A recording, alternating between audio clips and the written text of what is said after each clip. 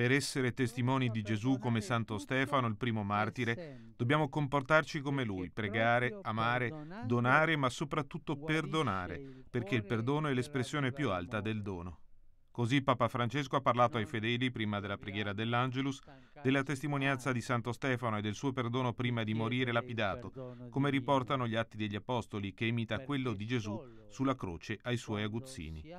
Ma cosa serve perdonare? si è chiesto il pontefice, e la risposta sta proprio nel martirio di Stefano, perché tra quelli per i quali implora il perdono c'è anche il giovane Saulo, che diventerà Paolo, l'apostolo delle genti.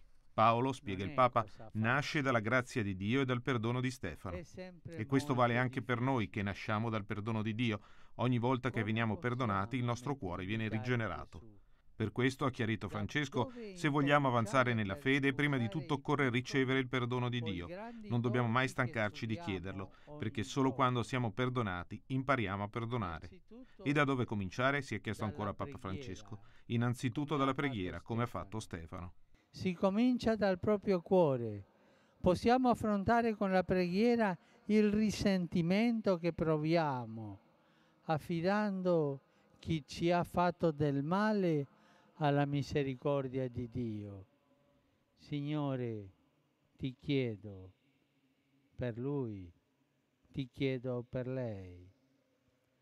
Poi si scopre che questa lotta interiore per perdonare purifica dal male e che la preghiera e l'amore ci liberano dalle catene interiori del rancore.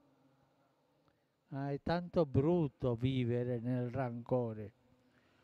Ogni giorno abbiamo l'occasione per allenarci a perdonare, per vivere questo gesto tanto alto che avvicina l'uomo a Dio come il nostro Padre Celeste, diventiamo anche noi misericordiosi, perché attraverso il perdono vinciamo il male con il bene, trasformiamo l'odio in amore e rendiamo così più pulito il mondo.